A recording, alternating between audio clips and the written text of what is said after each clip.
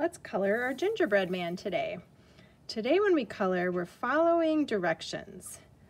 So we want to read this with a parent and decide which body parts should be which color. Sometimes we get to choose our own colors and today we're following directions. So it says color the gingerbread man's arms blue. You can choose crayons or markers and color those arms blue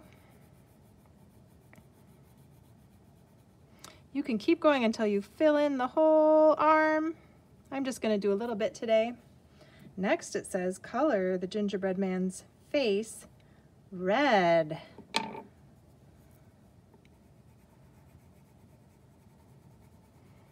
You can keep going till you fill that whole face in.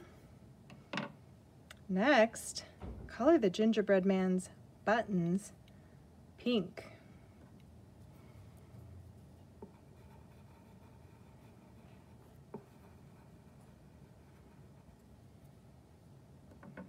Color the gingerbread man's legs green.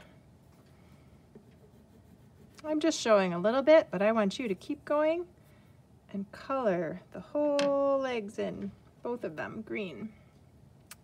Next, color the bow tie orange.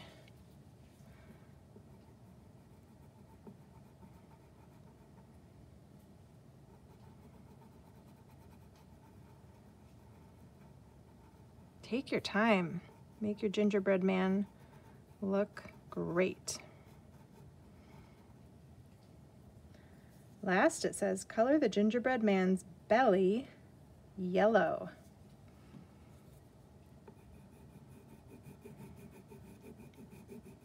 Keep going until you get that whole belly yellow.